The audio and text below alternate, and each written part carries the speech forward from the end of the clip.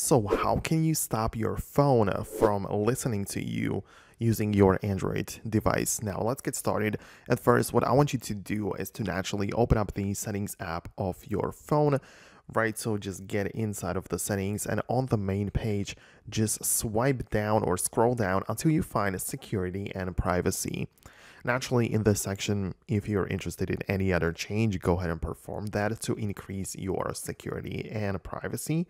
But below, if you scroll down, you can find the privacy section once again. And you can see how many apps have had permissions to your location, camera, and microphone, right? So that's uh, kind of how it works.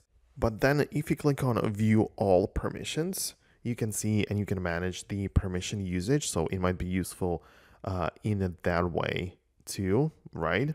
But instead, a tap on permissions manager right there below it, and this will give you like all of the things which you could be or you would likely be interested in. So scroll down and tap on microphone, and here you can see exactly which apps have the permission to record audio. And you have some, or you have like different sections where you have allowed all the time, then you have allowed only while in use, and then you have not allowed.